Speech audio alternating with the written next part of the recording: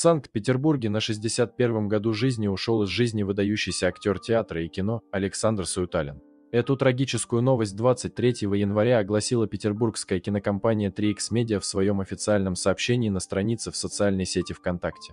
Великолепный актер, замечательный человек. Выражаем соболезнования родным и близким Александра, говорится в трогательном обращении к памяти ушедшего артиста.